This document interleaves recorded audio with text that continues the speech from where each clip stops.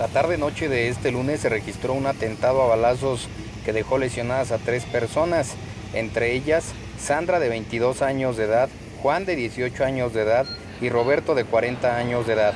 Este ataque se registró en la calle Corregidora de la colonia La Lima, ubicada en esta ciudad de Zamora. El asunto movilizó a las corporaciones de rescate y también a los oficiales de la policía Michoacán.